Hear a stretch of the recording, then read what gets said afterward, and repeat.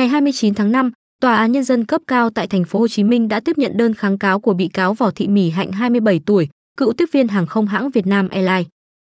Cuối tháng 3 vừa qua, Tòa án nhân dân thành phố Hồ Chí Minh đã xử sơ thẩm và tuyên phạt bị cáo Võ Thị Mỹ Hạnh 3 năm tù về tội môi giới mại dâm. Cho rằng mức án trên có phần nghiêm khắc, bị cáo Hạnh kháng cáo xin giảm nhẹ hình phạt. Theo nội dung vụ án, tối ngày 9 tháng 8 năm 2023, Công an thành phố Hồ Chí Minh kiểm tra hành chính tại một khách sạn tại phường Bến Thành, quận 1. Tại đây, lực lượng chức năng phát hiện hành vi mua bán dâm trong 4 phòng trong khách sạn. Qua điều tra, cơ quan công an xác định từ năm 2018 đến khoảng tháng 2 năm 2022, Võ Thị Mỹ Hạnh cùng một số đối tượng không rõ lai lịch trên mạng xã hội giới thiệu đi bán dâm với giá 20 đến 30 triệu đồng lần. Hạnh biết được có nhiều nữ tiếp viên hàng không đồng ý đi bán dâm nên khi có người mua dâm, Hạnh giới thiệu để hưởng lợi. Từ khoảng tháng 2 năm 2023, Hạnh môi giới cho các nữ tiếp viên đi bán dâm với giá 10 đến 50 triệu đồng. Hạnh sẽ cộng thêm tiền môi giới và làm trung gian thông báo cho người mua và bán với giá từ 3 đến 7 triệu đồng lần. Liên quan đến vụ cựu tiếp viên hàng không môi giới bán dâm giá nghìn đô, cơ quan cảnh sát điều tra công an thành phố Hồ Chí Minh đã hoàn tất kết luận điều tra, chuyển hồ sơ sang viện kiểm sát nhân dân cung cấp đề nghị truy tố Võ Thị Mỹ Hạnh, sinh năm 1997, ngụ tỉnh Trà Vinh, về tội môi giới mại dâm. Kết luận điều tra thể hiện, lúc 21 giờ 55 phút ngày 9 tháng 8 năm 2023, Phòng Cảnh sát hình sự Công an thành phố Hồ Chí Minh phối hợp với Công an quận 1 và Công an phường Bến Thành, quận 1 kiểm tra hành chính tại tầng 6, khách sạn A25, phát hiện 4 cặp đôi đang mua, bán dâm. Cụ thể, cảnh sát phát hiện tại phòng 602, chị N. E. A, sinh năm 1992, đang thực hiện hành vi bán dâm, tại phòng 603, chị H. N. Q. T sinh năm 1996, đang thực hiện hành vi bán dâm. Ngoài ra, tại phòng 611, chị N. H. A. V. sinh năm 1995, đang thực hiện hành vi mua bán dâm. Tại phòng 605, chị L. E. E. N. sinh năm 1993, đang thực hiện hành vi bán dâm. Lời khai các cô gái và tin nhắn điện thoại thể hiện Hạnh, cựu tiếp viên hãng Việt Nam Airlines, là người môi giới cho họ mua, bán dâm. Trong đó, T. A. bán dâm giá 27 triệu đồng lần, Hạnh hưởng 7 triệu. KV. bán dâm giá 15 triệu đồng lần, Hạnh hưởng 5 triệu. Q. T. bán dâm giá 17 triệu đồng lần, Hạnh hưởng 7 triệu. T. N. bán dâm giá 15 triệu đồng lần, Hạnh hưởng 5 triệu. Trường hợp môi giới thành công, Mỹ Hạnh sẽ hưởng lợi tổng cộng 24 triệu đồng. Tuy nhiên, phi vụ này bị cảnh sát phanh phui nên Hạnh chưa kịp nhận được số tiền trên. Cơ quan điều tra kết luận hành vi này của bị can Mỹ Hạnh là nghiêm trọng, xâm phạm đến đạo đức, thuần phong, mỹ tục, gây ảnh hưởng xấu đến trật tự công cộng, vi phạm tại khoản 2, điều 328 Bộ luật hình sự, cần phải xử lý để phòng ngừa và giáo dục chung. Đối với những người tham gia mua, bán dâm, Phòng Cảnh sát hình sự Công an thành phố Hồ Chí Minh đã ra quyết định xử phạt hành chính. Sáng ngày 26 tháng 4, Công an tỉnh Phú Thọ cho biết, đêm ngày 25 tháng 4 Trung tâm Chỉ huy chữa cháy và cứu nạn cứu hộ nhận được tin báo cháy nhà dân tại khu Tân Sơn, thị trấn Lâm Thao, huyện Lâm Thao. Hai xe chữa cháy cùng 12 cán bộ, chiến sĩ nhanh chóng tới hiện trường. Đám cháy xảy ra tại tầng 1 của căn nhà 2 tầng kinh doanh đồ điện tử gia dụng, trong khi đó cửa cuốn không thể mở được. Cảnh sát xác định chủ hộ là ông N. T. T. Mắc kẹt trong nhà nên đã sử dụng các thiết bị chuyên dụng phá cửa cuốn để tiếp cận đám cháy. Sau khi vào được bên trong, cảnh sát phòng cháy chữa cháy phát hiện nạn nhân bất tỉnh nên đưa ra ngoài, bàn giao cho lực lượng y tế sơ cấp cứu. Đám cháy được cảnh sát dập tắt hoàn toàn sau đó, không để cháy lan sang các khu vực xung quanh. Theo công an tỉnh Phú Thọ, sau khi được sơ cấp cứu kịp thời nạn nhân đã nhanh chóng hồi phục. Nguyên nhân vụ cháy và thiệt hại tài sản đang được cơ quan chức năng thống kê, làm rõ. Trưa ngày 24 tháng 4, bà Phạm Thị Hương, Chủ tịch Ủy ban Nhân dân huyện Lý Sơn, Quảng Ngãi cho biết trên khu vực biển Lý Sơn xảy ra một vụ tai nạn chìm tàu kéo theo xà lan chở đá khiến 3 người thiệt mạng, hai người mất tích.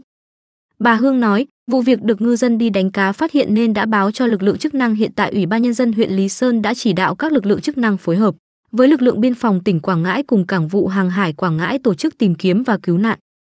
Theo cảng vụ hàng hải Quảng Ngãi lúc 4 giờ cùng ngày, Tàu kéo Long An 06695 kéo theo xà lan Long An 06883 đang từ Kỳ Hà Quảng Nam đi Lý Sơn Quảng Ngãi trên hành trình đến khu vực biển cách đảo Lý Sơn thì tàu kéo xảy ra sự cố làm xà lan bị chìm. Vị trí chìm xà lan ở tọa độ khoảng 150 23 14 N 1090 0230 E vị trí tàu phát tín hiệu AIS cuối cùng. Ngay sau khi nhận thông tin sự cố, nhiều lực lượng đã đến hiện trường, phối hợp tìm kiếm. Đến 10 giờ 30 phút sáng nay ngày 24 tháng 4, lực lượng tìm kiếm đã phát hiện và vớt được 3 thi thể gần vị trí xà lan gặp nạn. Theo danh sách thuyền viên được cấp rời cảng di chuyển trên biển mà cảng vụ hàng hải Quảng Nam cung cấp thì trên tàu kéo có 5 thuyền viên. Hiện cảng vụ hàng hải Quảng Ngãi đã phối hợp với Ủy ban nhân dân huyện Lý Sơn đồn biên phòng huyện Lý Sơn triển khai hoạt động tìm kiếm cứu nạn thuyền viên ngoài ra cảng vụ. Cũng thông báo cho Trung tâm phối hợp tìm kiếm cứu nạn hàng hải khu vực 2 để hỗ trợ phương tiện tìm kiếm cứu nạn và cung cấp thông tin để Đài Thông tin Duyên Hải Đà Nẵng phát bản tin. Thông tin từ hiện trường vụ chìm thuyền khiến 4 người mất tích trên địa bàn thị xã Quảng Yên, tỉnh Quảng Ninh. Đến khoảng 14 giờ 40 phút ngày 25 tháng 4, lực lượng chức năng đã tìm thấy thi thể hai nạn nhân. Hai thi thể sau đó đã được đưa về Trung tâm Y tế thị xã Quảng Yên để người thân nhận diện và lo hậu sự. Lãnh đạo thị xã Quảng Yên cũng đã chỉ đạo các phòng ban chuyên môn theo sát, động viên, chăm lo và hỗ trợ chú đáo cho gia đình người bị nạn. Trước mắt, Ủy ban Nhân dân thị xã Quảng Yên đã hỗ trợ cho mỗi gia đình có người thân mất tích 20 triệu đồng. Tại hiện trường đã triển khai phương án mò lặn, già câu, kéo chã để tìm kiếm ở dưới lòng sông và các lực lượng ra soát ở hai bên bờ, đồng thời canh chừng ở hạ lưu, sẵn sàng trục vớt các nạn nhân. Tuy nhiên hiện nay, nước sông Chanh đang thủy chiều lên, gây không ít khó khăn cho công tác khoanh vùng tìm kiếm các nạn nhân còn mất tích. Trước đó vào khoảng 5 giờ 30 phút ngày 25 tháng 4, trên luồng sông Chanh xảy ra vụ chìm đắm phương tiện thuyền nan. Khi xảy ra tai nạn, trên phương tiện có 6 người cùng nhau đi khai thác thủy sản, gồm bà Nguyễn Thị Tuyên, sinh năm 1979, hộ khẩu thường trú khu 12, phường Hà An, thị xã Quảng Yên, là người lái thuyền, và 5 người khác đều có hộ khẩu thường trú tại xã Liên Vị, thị xã Quảng Yên. Trong quá trình di chuyển gặp rông lốc khiến phương tiện bị lật và chìm đắm, bốn công dân có tên là Cường, Hương, Nghĩa và Mơ mất tích. Bà Nguyễn Thị Tuyên và bà Nguyễn Thị Nhịp, sinh năm 1980, có hộ khẩu thường trú tại thôn Nam Hai, xã Liên Vị, bơi vào bờ và được cứu hộ an toàn. Cho đến thời điểm này, các lực lượng chức năng vẫn đang huy động nhân lực tiếp viện, phương tiện, nỗ lực tìm kiếm hai nạn nhân còn lại. Ngày 25 tháng 4, đại diện lãnh đạo Ủy ban Nhân dân phường Hà An, thị xã Quảng Yên, Quảng Ninh xác nhận vụ việc xảy ra vào khoảng 5 giờ 10 phút cùng ngày tại khu vực sông Chanh, đoạn qua địa bàn phường. Vào thời điểm này, trên chiếc thuyền nan có chị NTT, sinh năm 1979, chú khu 12, phường Hà An, thị xã Quảng Yên, chủ phương tiện và 5 người khác đi làm thủy sản. Trong quá trình di chuyển từ bến đò phường Phong Hải sang bến đò phường Hà An thì gặp cơn rông lốc khiến lật thuyền làm 4 người mất tích. Qua xác minh ban đầu, 4 người mất tích gồm NTH, sinh năm 1982, NTM, sinh năm 1983, NTN, sinh năm 1979, cùng chú tại thôn Đình 1, xã Liên Vị, thị xã Quảng Yên, DTC, sinh năm 1966, chú thôn Cẩm Liên, xã Cẩm La, thị xã Quảng Yên. Riêng chị NTT cùng NTN bơi vào bờ và được cứu hộ an toàn.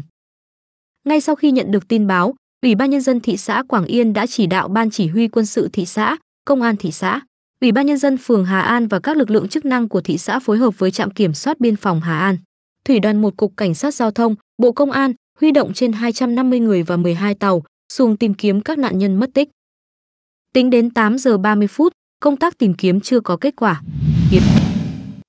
Ngày 25 tháng 4, Cảng vụ hàng hải Quảng Ngãi cho biết các cơ quan chức năng đang xác minh điều tra làm rõ việc ba nạn nhân được tìm thấy thi thể trong vụ tàu kéo và xà lan bị chìm trên biển Lý Sơn, Quảng Ngãi, không có tên trong danh sách thuyền viên mà đơn vị thuê tàu trình báo với cơ quan chức năng.